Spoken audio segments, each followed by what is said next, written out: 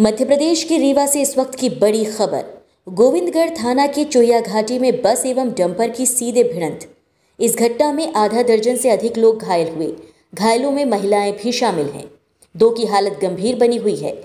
मौके में सूचना मिलते ही गोविंदगढ़ थाना प्रभारी शिवा अग्रवाल पुलिस टीम के साथ घटनास्थल पहुँचे और सभी घायलों को रेस्क्यू कर दुर्घटनाग्रस्त वाहन से बाहर निकाला गया। घायलों को सिविल अस्पताल गोविंदगढ़ ले जाया गया और फिर संजय गांधी अस्पताल रीवा के लिए रेफर किया गया। गौरतलब है कि इसके पहले भी इस घाटी के मोड़ पर इस तरह की दुर्घटनाएँ हो चुकी हैं।